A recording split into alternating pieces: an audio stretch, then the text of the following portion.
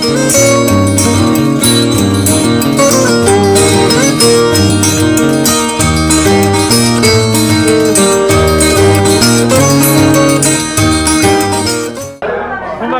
Cada uma tá melhor que a outra. Uma porta para quem tem trabalho para mostrar. Eu prefiro muito mais autoral e Mostra os artistas locais e de fora daqui também, acho bom. O público é bom, a galera que vem é bom, é 100% e tem que continuar sempre fortalecendo.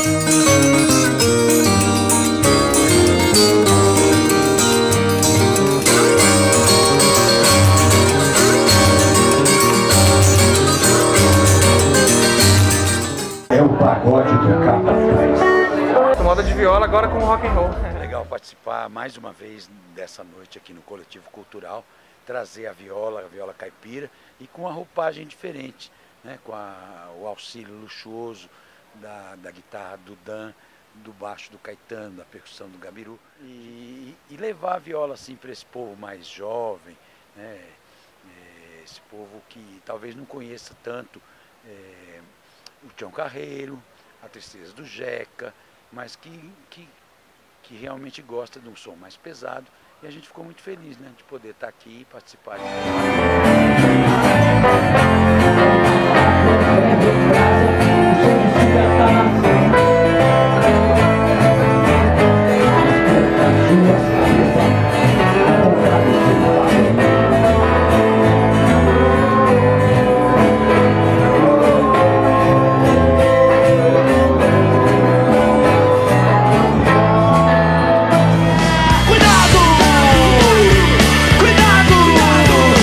casa cai.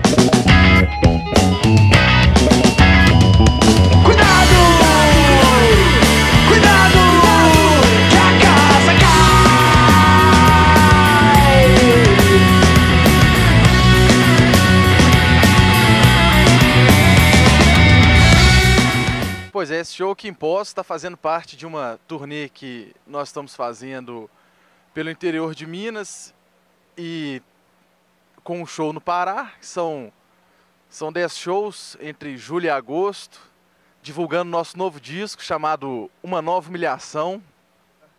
Bom, a gente está muito feliz, é a segunda vez que a gente está aqui. Por incrível que pareça, foi mais emocionante do que a primeira vez que a gente veio aqui no carnaval desse ano. E foi demais, bicho. A galera do 360 fez, pô, uma mobilização aí. Todo mundo decorou as músicas. Foi emocionante.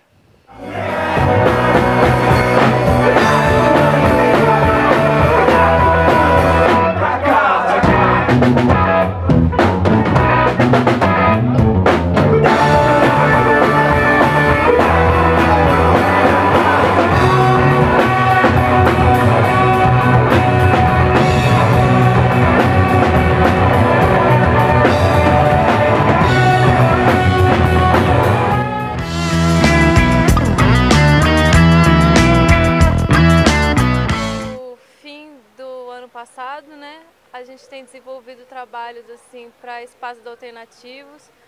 No mês de março todo a gente fez uma apresentação no em Campinas, né, que era só para praças, bosques, espaços alternativos desse desse tipo lá em Campinas.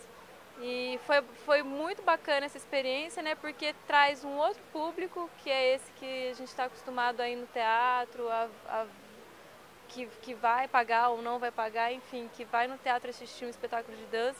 E a gente pôde reunir o- o- outros tipos, né? E a recepção foi muito bacana, né? Foi muito legal, porque é, rolou uma concentração, né? Quando, quando o pessoal se concentra, o pessoal tá numa energia de, de, né, da música, da banda e não sei o que, e para pra, pra assistir, e pede o silêncio, é, e depois vem conversar e fala, poxa, que bacana, né?